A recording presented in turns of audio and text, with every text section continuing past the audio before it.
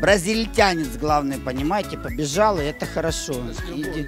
Это моя любимая обезьянка. А вот слышишь, сейчас Котенок.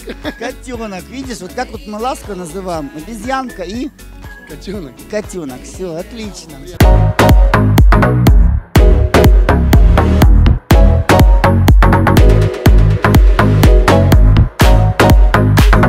Я не знаю, как у кого ассоциируется бразильский карнавал. Где-то есть перья, где-то есть краски. Для меня всегда бразильский карнавал – это охрененные блондинки, у которых отличные телеса, прекрасные попочки. И самое главное, дорогие друзья, они умеют ими работать. Девочки встали и бамбалейла, бамбалейла. Это только все начинается в Болеро. Вы же понимаете, сегодня определенный микс. Бразильский карнавал, блондинки, Орбис Бенд и все самое лучшее вы сейчас увидите. Я вас проведу по этой клоаке красоты и разврата.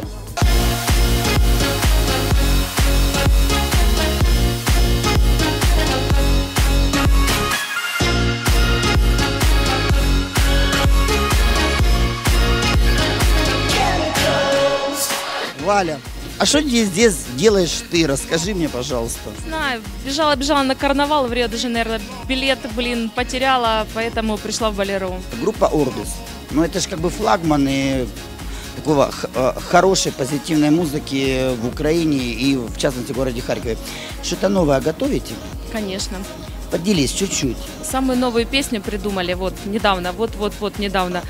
Э, называется «У Сани на Хундае ехали мы ехали, никак не приехали». А кто автор э, слов? Э, есть у нас Чак Норрис, он придумал. А вот этот дядька бородатый.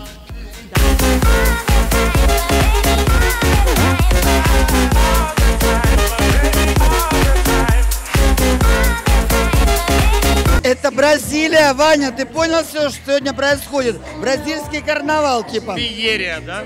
Феерия. Да. Скажи, ты в Бразилии был? Нет. Но Нет? хотелось бы. И где бы ты хотел бы там очутиться? Вау. Вопрос провокация. Чем быстрее, тем лучше, и с кем-нибудь приятным для души и сердца, наверное.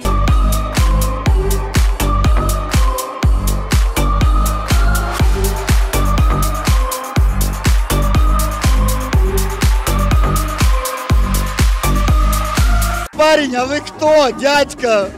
Вы такой стоите, с курточкой пришли, тут это вообще. Что вы тут делаете? Не зашел просто на минуту, и ты меня застал врасплох, поэтому... А это хорошо, понимаешь? Чтобы все понимали, что болеро можно зайти на минуточку и остаться на всю жизнь. Да, конечно, Болеро, все дороги ведут в Болеро. Снимай куртку, клади ее в гримерку и туси. Спасибо.